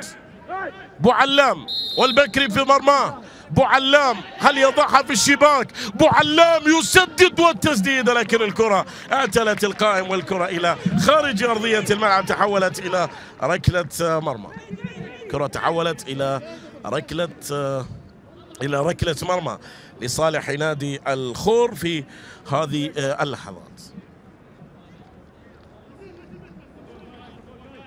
ما زال يبحث الخور عن تاسع أهداف ككل في هذا الموسم.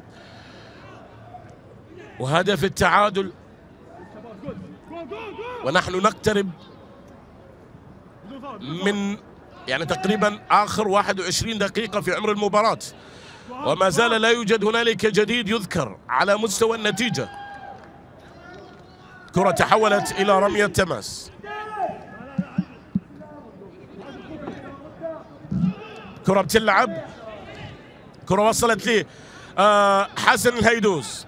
اللي بدوره يرسلها لبغداد. تقدم بنجاح انطلق بنجاح لكن التمريرة خاطئة. الكرة عادت مرة أخرى. عند أحمد ياسين. مرورة جميل وتمريرته أجمل. لهلال خذوهات لكن لم تمر. أبو علام يقطع الطريق ويقود هجمة مرتدة. كره لسالم الهاجري في منتصف الملعب. جابي. يوقف على كرته بعيدة لابو علام. تمريرة خاطئة وكرة مرتدة. دياغو دياغو تقدم. دياغو لعب على لاعب. دياغو الكرة ما زالت معاه والتمريرة. الله! الله! الفرسان لا يمكن ترويضها بهدف ولا يمكن الانتصار عليها بهدف. واجنر بتحرك جميل وبتمريرة أجمل وبدهاء الفرنسي الكبير بنت كازوني. عادوا للمباراة. شوف هذه التمريرة الخاطئة من بو علام والكرة المرتدة. ودييغو والتمرير في هذا المكان. والتسديدة القوية جدا. واجنر من هو الوحيد الذي سجل للخور في الأربع مباريات اللي خاضها الفريق على هذا الملعب. وهو من ينجح في هذه اللحظات بأن يعيد الخور للمباراة. واحد واحد وصولا إلى الدقيقة إلى الدقيقة سبعين حط كل قوته حط كل قوته في هذه الكرة. واجنر وبالتالي تمكن من أن يعيد الخور للمباراة لتصبح النتيجة واحد واحد. ويا لها من لحظات قادمة ودقائق ستكون مثيرة في هذه المباراة وفي هذا اللقاء. لكن الأخطاء في التمرير في وسط الملعب والكرة اللي استغلها بشكل صحيح آه، دييغو وكان ينتظر مساندة ولم يجد آه، المساندة سوى من ممن؟ من واجنر إذا واحد واحد أحبتي الكرام واحد واحد. ودقائق عشرين قادمة يدرك فيها السداوي بأنه لا يريد أن يتعادل لا يريد أن يتعثر في في هذه المباراة ويدرك تماما أيضا بأن خسارة نقطة في هذه المباراة وعدم الحصول على الثلاث النقاط ليس من من صالحه وكذلك يعني الهدف اللي سجل الآن بالنسبة لنادي آه، الخور. ذلك الهدف الذي آه، من شأنه أن يعطي ثقة أكبر للاعبين بأن آه، يساهم في أن في أن يكون وضع الخور يعني في الدقائق واللحظات القادمة في هذه المباراة. من أجل إمكانية خطف هدف ثاني ويدرك الجميع مدى صعوبة المواجهات التي تجمع السد والخور هنا في الخور. يا سلام على الكنترول وعلى المرور. كرة لأحمد ياسين في الجهة اليسرى. محاولة. ما زالت مستمرة كرة تنقل عرضية وفرصة. دييغو لمسة ما زالت لكن الكرة تبعد. هلال بيش الله! على تسديدة وعلى ردة فعل. على ردة فعل جميلة من سعد الدوسري في تسديدة من هذا المكان وبهذه القوة. لكن سعد كان متواجدا وحاضرا وبالتالي تمكن من أن ينقذ الموقف في كرة خطيرة. والكرة تحولت إلى ضربة ركنية. في تبديل الآن في تبديل قادم سيجري سيد جوزفالدو بيريرا نشاهد من اللاعب البديل؟ من اللاعب القادم؟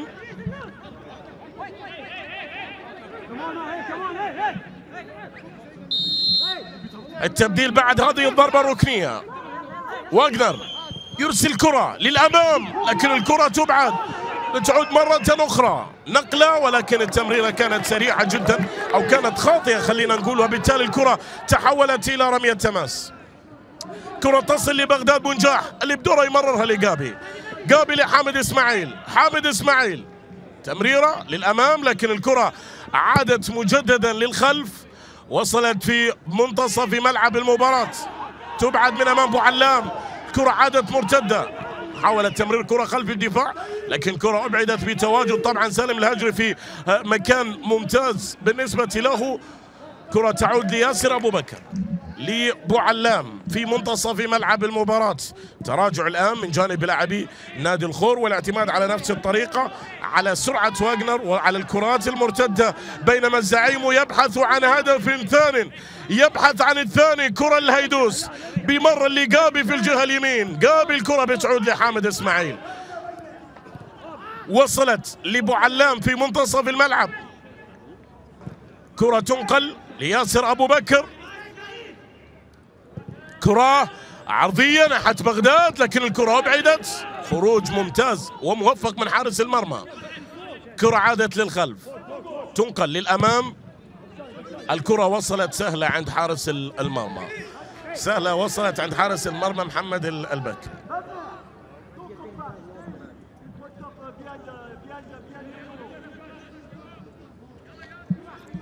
يقف الآن بين كازوني. يقف ليرى ماذا بإمكانه أن يضيف؟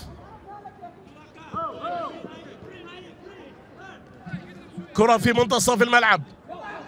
تمريرة سريعة وكانت أسرع من دييغو وبالتالي الكرة تحولت إلى رمية تماس. إذا سالم الهاجري يترك أرضية الملعب في هذه اللحظات.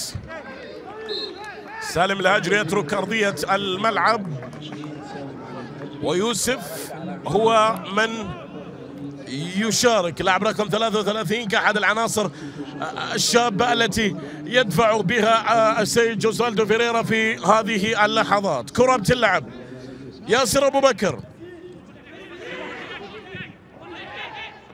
كرة تبعد. تعود للهيدوس. بيمررها محاولة. والكرة إلى خارج أرضية الملعب. تحولت إلى ركلة مرمى. تصرف ممتاز كان من آه، المدافع. وهنا طبعا الإعادة لهدف التعادل بلمسة برازيلية خالصة يسجل من خلالها الخور. هدف التعادل في هذه المباراة. وهنا ردة الفعل من قبل السيد جوزفالدو فيريرا. اللي يبدو أكيد بأنه غير راضي.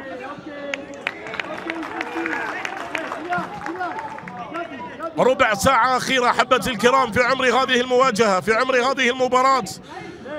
هل يرضى الفريقين بالتعادل؟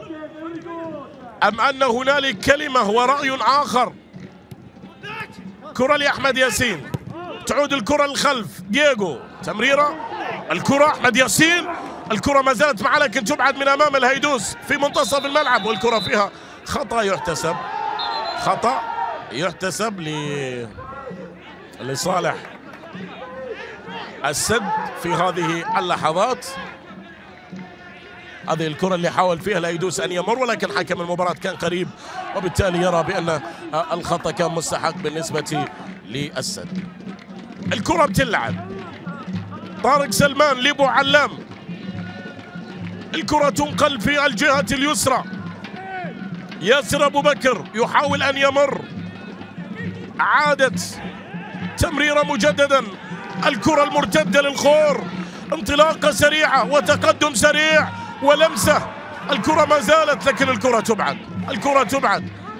بوعلام طلب كرة من أكرم عفيف الذي لم يظهر كثيرا في شوط المباراة الثاني.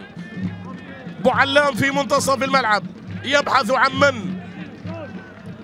يبحث عن أكرم في الجهة اليسرى. تمريرة ونقلة ما زالت لكن الكرة إلى خارج أرضية الملعب. تحولت إلى ركلة مرمى. إلى ركلة مرمى.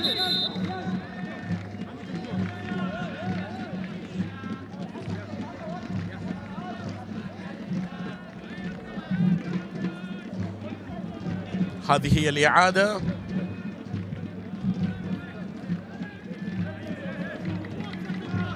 كرة إلى ركلة مرمى. طبعا التعادل يعني بأن الفارق سيبقى كبيرا فيما بين السد ودحيل أحمد ياسين. كرة بتعود. سلامات إن شاء الله سلامات إن شاء الله للاعب اللي ساقط على أرضية الملعب. يقوم بالسلامة. يقوم بالسلامة. لاعب دييغو دييغو هو اللي سقط على أرضية الملعب. وهذه طبعا الإعادة للكرة اللي سقط فيها دييغو.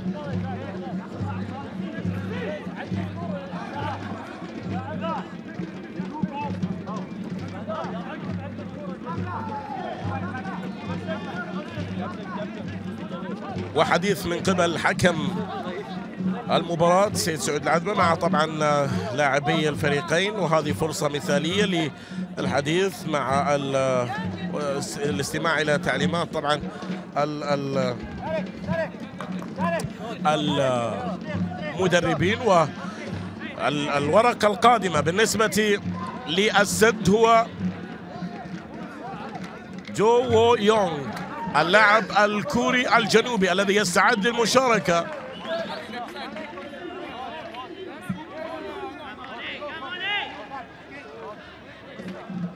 هو التبديل القادم.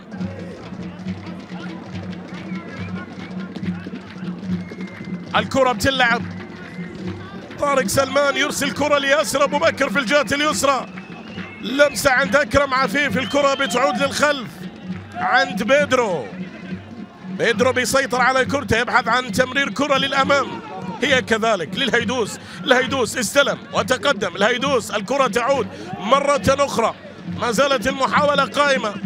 هل من هدف ثالث في هذه المباراة عندنا هدفين؟ هل من هدف ثالث في هذا اللقاء لمن سيكون بقدم من سيكون بغداد يرسل كرة الكرة داخل المنطقة. ما زالت مستمرة وقائمة تمريرة. جابي بيسدد لكن الكرة الكرة والتسديدة لم تكن بالشكل المطلوب. بالتالي الكرة كانت سهلة عند حارسي المرمى محمد البكري. أحمد ياسين. كرة بتلعب لأمام جابي. جابي بيسيطر على كرته يرسلها للهيدوس في اليمين. كرة يحاول أن يكسب من خلال هيدوس ضربة ركنية. يسقط والكرة تحولت إلى ضربة ركنية نعم. ضربة ركنية تحولت لصالح نادي السد في هذه اللحظات على بعد عشر دقائق من النهاية. شاهد اللاعب الكوري الجنوبي. سيكون بديلا ل لياسر أبو بكر. ياسر أبو بكر يترك أرضية الملعب وجو وو يونغ هو اللاعب الذي آه، يشارك في هذه اللحظات وهو اللاعب الكوري الجنوبي الثاني الذي يلعب طبعا للزعيم السداوي ولدينا الآن. ضربه ركنية الكرة بتلعب الكرة تبعد تعود ما زالت قائمة. جابي بيسدد والكرة إلى خارج أرضية الملعب تحولت إلى ركلة مرمى. لكن لكن هل ما قام به السيد برنارد كازوني مدرب آه نادي الخور يعني احتفظ بهلال محمد وبأحمد بأحمد ياسين في شوط المباراة الأول. احتفظ فيهم و مع بداية شوط المباراة الثاني رأى بأنهم أوراق رابحة من شأنها أن أن تعطي الإضافة الكبيرة للفريق. أو أن يعني أن تصل به على الأقل أن يخرج من هذه المباراة وهو وهو متعادلا بنقطة. التفكير الآن التفكير بالهدف الثاني من الجانبين من الفريقين. التفكير بالهدف الثاني وبالتالي من سيكون أقل أخطاء وأكثر تركيزا وأكثر استغلالا للفرص هو من سينجح في ذلك. سعد الدوسري يرسل كرة للأمام. كرة تبعد. قابي يتقدم يمرر. الكرة لحامد إسماعيل. تقدم لكن الكرة الكرة فيها خطأ. وبطاقة صفراء. وبطاقة صفراء. منعطف. قادم في المباراة. أكيد بأنه يعني سيكون في حالة من النرفزة من جانب لاعبي الفريقين. وسيكون الدور كبير جدا على المهاجمين خاصة في كيفية الحصول على ثلاث نقاط هذه المباراة وفي كيفية الوصول إلى الشباك الهيدوس على تنفيذ الخطأ. الهيدوس يتقدم يرسل كرة للأمام وخروج حارس المرمى والكرة فيها خطأ يحتسب. لكن برافو هذا الحارس الشاب. برافو برافو برافو. حارس المعار من دحيل والحارس اللي أيضا لعب للمرخيه حارس حقيقة اليوم. يعني قدم مباراة كبيرة في في هذا سلامات إن شاء الله هو سقط على أرضية الملعب. التعادل يستمر. وعلما بأن المواجهات العشر الأخيرة لم تشهد سوى حالة تعادل واحدة فقط. فهل تكون الثانية اليوم في هذه المباراة؟ وهو التعادل اللي يعني لا يخدم كثيرا الفريقين لا يخدم مصلحة الفريقين لكن لكن دائما في كرة القدم يكون أفضل من الخسارة. لكن لا يخدم مصلحة يعني في حالة تعادل الخور اليوم راح يصل للنقطة التاسعة ولن لن يتغير موقعه في جدول الترتيب. والسد سيصل للنقطة رقم 27 لكن أعتقد بأن هنالك هدف قادم. لا أدري لمن. لا أعلم لمن. ولكن هنالك هدف قادم في الدقائق. واللحظات القليلة المتبقية من عمر المباراة. الخطأ سينفذ كرة بتلعب للأمام. كرة تصل لمنتصف ملعب المباراة. إهلال يرسل كرة للأمام أحمد ياسين بيحاول يسيطر وسط ضغط يمر يبحث عن عن الاستفادة من هذه الكرة. لكن كرة تبعد من أمامه يقاتل عليها ولكن الكرة فيها خطأ يحتسب في هذه اللحظات لصالح السد. هذه هي الإعادة وهذه المحاولة طبعا اللي كانت عن طريق أحمد ياسين كرة مرتدة لصالح السد نقلة للأمام وكرة في الجهة اليسرى. ما زالت قائمة عرضية تمريرة والكرة أبعدت. عادت مجددا. الكوري الجنوبي يسيطر يمرر في الجهات اليسرى. محاولة للزعيم نقلة للأمام. الكرة العرضية هي كذلك. الله! لا نحتاج لكثير من الأسئلة ولا التوقعات. ولا التكهنات إن كان هنالك مهاجم من هذا الطراز بغداد بنجاح الذراع اليمين للسدوية ذراعهم اليمين هدافهم الكبير يظهر في هذه اللقطة. الله على بغداد الهدف رقم 23 يصل إليه في هذه المباراة وهدف ثاني وقلت بأنه هنالك هدف قادم. بالراس ماشى بالقدم ماشى معاه. هو اللاعب الذي حينما يكون متواجد لاعب لديك بهذه القيمة فيجب بأن لا تكون قلقا كثيرا. بنجاح يسجل الهدف الثاني لتصبح النتيجة 2-1 في هذه اللحظات بكرة عرضية جميلة كانت ملعوبة من جانب كرة عرضية كانت جميلة والاستفادة منها وبالتالي الوصول لثاني أهداف المباراة. الكرة تحولت إلى ضربة ركنية. كرة تحولت إلى ضربة ركنية. هدفين في هذه المباراة. بنجاح خلصت كل الكلام. بصراحة ركنية بتلعب للخور لكن الكرة تبعد. إهلال بيسدد والكرة إلى خارج أرضية الملعب تحولت إلى ركلة مرمى. تحولت إلى ركلة مرمى بنجاح خلص كل عبارات المدح. اللي عند اللي عند الجميع. عند المعلقين واللي عند الصحفيين. يعني يعني حقيقة ماذا عسانا لاعب لاعب كبير لاعب كبير. مهاجم كبير. كرة بتلعب للأمام. بتعود مجددا في منتصف ملعب المباراة. لمسة للأمام عادت لجابي. نقلة للهيدوس الهيدوس يتقدم. يمرر الهيدوس خذوهات انطلاقة في الجهة اليمين بيحاول الهيدوس. الكرة ما زالت معاه. يا سلام. على المهارة وعلى الكنترول. الكرة عادت لجابي لكن الكرة مرتدة. أحمد ياسين يحاول الكرة فيها. خطأ. خطأ يحتسب في هذه اللحظات من قبل حكم المباراة.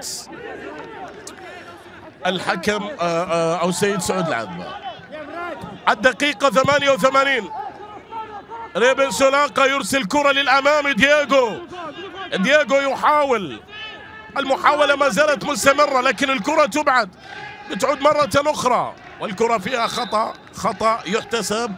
خطأ يحتسب. أو رمية تماس. رمية تماس للخور. الذي يجب عليه بأن لا يستسلم لأن ما زال في عمر المباراة بقية. دياغو خذوهات جميلة وتقدم وكرة! لكن الكرة العرضية قبل ذلك طالت طالت طالت وتحولت إلى إلى ركلة مرمى.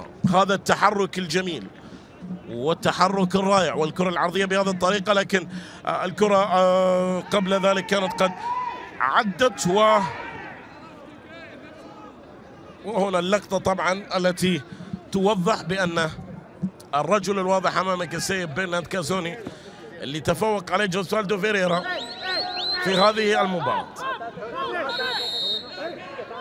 ركلة مرمى على بعد دقيقة من نهاية الوقت الأصلي. لأحداث الشوط الثاني من المباراة. أكرم عفيف الكرة ما زالت مع أكرم يحاول يبحث عن المرور بعيد الكرة. عادت مجددا للخلف. جابي بتعود في الجهة اليسرى.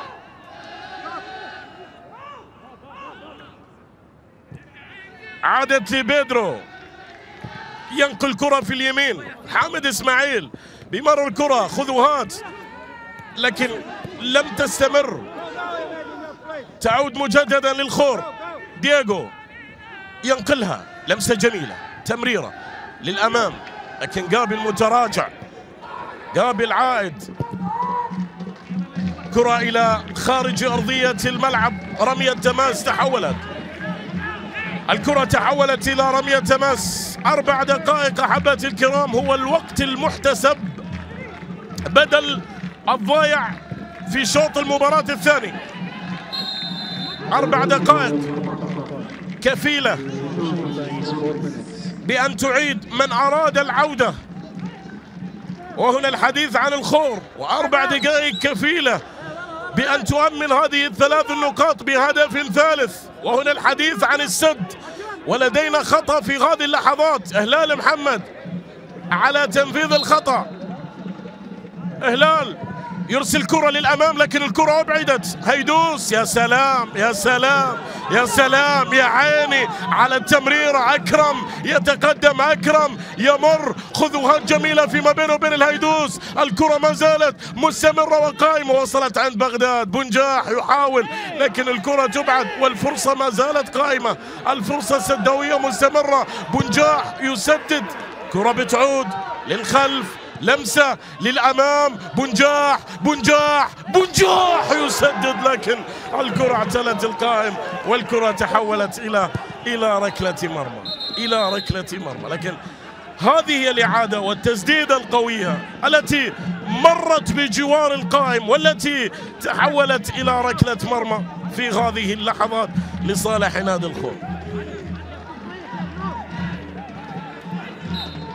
من الأربع دقيقة مرت. وبقى عندنا ثلاث دقائق.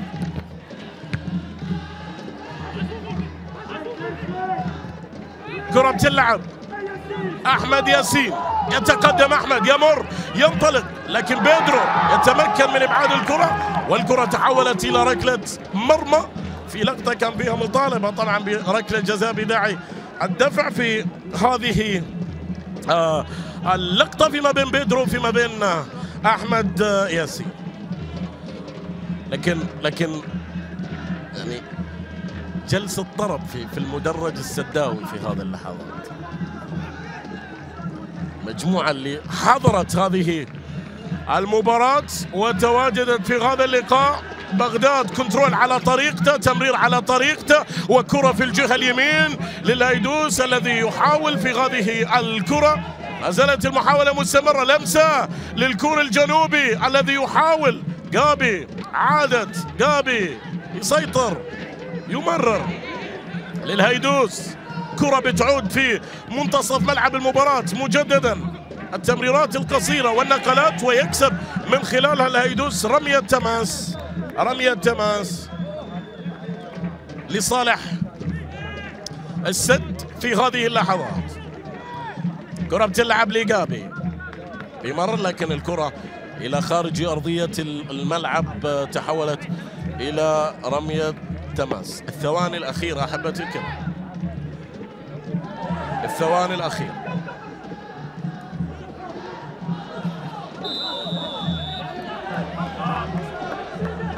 خطأ لصالح نادي.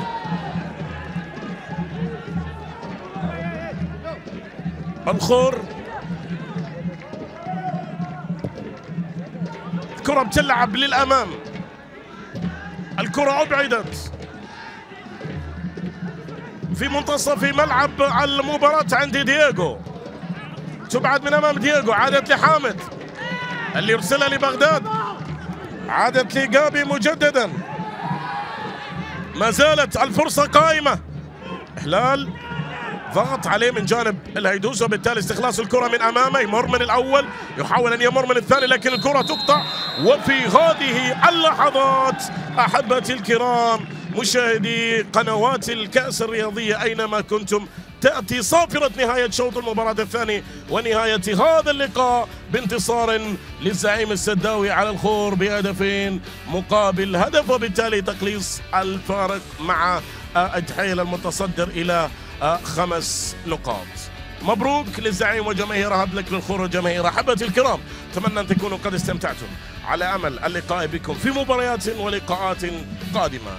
إلى ذلك الحين تقبلوا تحياتي محدثكم سمير اليعقوبي. الصوت والصورة ستنتقل لعادل ملا وعبد العزيز حسن. إلى اللقاء.